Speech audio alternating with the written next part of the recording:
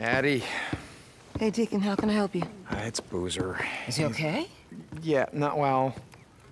He's not. He's not sick or anything. It's just, I don't know. Well, I told you that it was gonna be a big adjustment. Do you have any drugs around here? Like antidepressants, something like that. No. Sorry. Okay. Wait. I heard about what happened. How we went after those guys who were killing those dogs.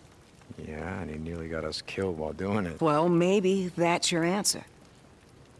Nearly getting us killed while doing it.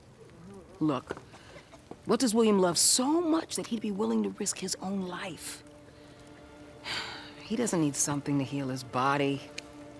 He needs something to heal his soul.